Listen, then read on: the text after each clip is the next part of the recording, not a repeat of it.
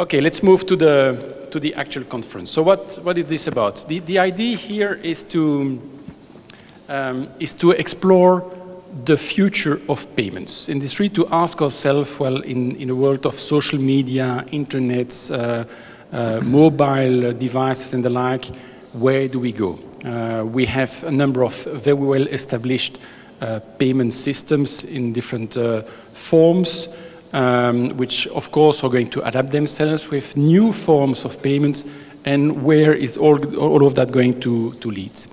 Um, I must say that we are very pleased to have a number of experts, really people with a lot of big experience, which are going to share that with us today. Um, and I will introduce Chris, Chris Skinner, who is the chairman of the Finance Services Club.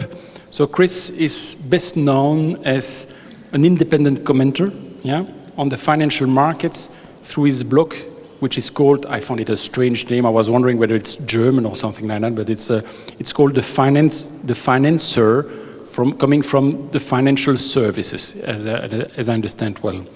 So uh, I had a discussion with, uh, with Chris just before the, we started here, and the Financial Services Club is a network of financial professionals, very interesting, which is focusing on the future of financial services uh, through the delivery of research and debate. So I think that Chris is extremely well placed to moderate the debate today and to introduce our guest speakers. So Chris? Thank you, Eve, And good evening.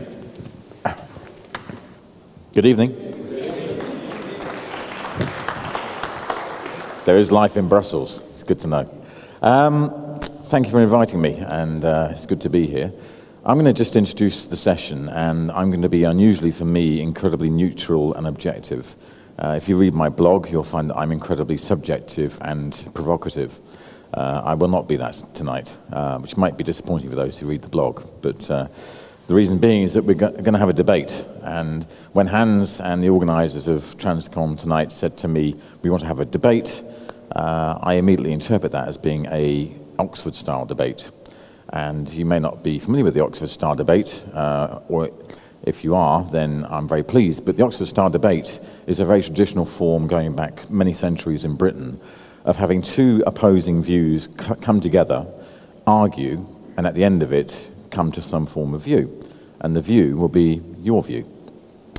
So we're going to talk about the future of payments. And um, basically, we're going to argue about the future payments being something that will be an evolution of everything we have today that progresses along the tracks that we know and are familiar with, that will continue to be using the banking infrastructures, the SWIFTs of this world, the Euroclears of this world, and that we just evolve into a future that is something probably very different, but very familiar to what we have today, because it will be using a lot of the stuff that we already have today.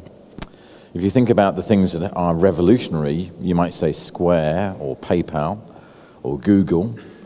And the fact that, for example, Google announced just in the last day that you can transact via Gmail a payment person to person anywhere in the world for free. If you didn't see that, that was announced yesterday. If you didn't see today, PayPal announced that in America you can send a payment person to person from a mobile telephone to anybody in America, person to person, for free. No charge. But behind PayPal and Google is the traditional infrastructure of transaction networking and processing of the banking system of the CHIPS, Fedwire, Swifts of this world. So the guys didn't know it till they turned up tonight, but I said, we're going to have the Oxford style debate, where we'll have two people who propose that everything will stay pretty much familiar and just evolve into a future that's different but uses a lot of the stuff that we already have today. And then we'll have two guys who will argue completely against that and say, you're talking rubbish, just to create some argument. Uh, they're going to play these roles not because they necessarily believe these roles, but because I've told them that they have to play these parts.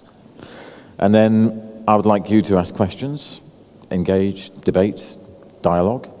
And at the end of this, we'll have a vote. But at the start of this, we should have a vote because I'd like to just find out what the views are in this room before our speakers speak. Do you think that everything will stay pretty much familiar and the same, or that the future of payments is radical and different. So, can you raise your hand if you think it's going to be pretty much familiar and the same as it is today? I can see about four. Can you raise your hand if you think it's going to be completely different and radically unknown? Okay. So most people think it's going to be completely different. I think you have a job on your hands, Thierry. Thierry is going to start the debate.